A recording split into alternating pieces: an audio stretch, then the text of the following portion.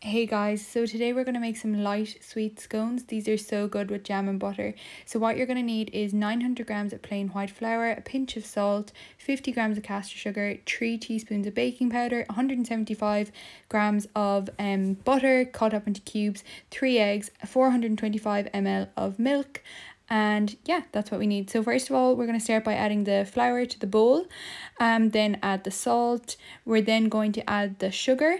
Um so this is mixing all the dry ingredients together. Add the three teaspoons of baking powder. Um then we're going to add the cubed butter to the mixture and basically we're going to crumble it up until the mixture resembles breadcrumbs. Um so this might take a while. Just make sure that all the pieces of butter are well combined. Then we're going to start with the wet ingredients. So pour the milk into a bowl. Then you can add the eggs and whisk them up. Make sure all the egg is combined with the milk. Um, next thing we're going to do is make a little well in our flour dry um, ingredient mixture and we're going to pour the wet ingredients into that. Then you end up with this kind of consistency. Um so what we're going to do is give it a good mix and then we're going to roll it out on our board and we're going to knead it for two to three minutes.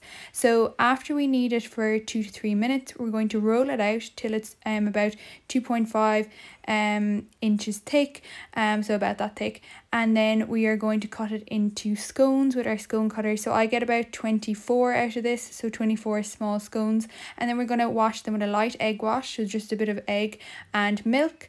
And we are going to bake them for 11 minutes at 200 degrees in the oven and they come out nice like that so nice and risen.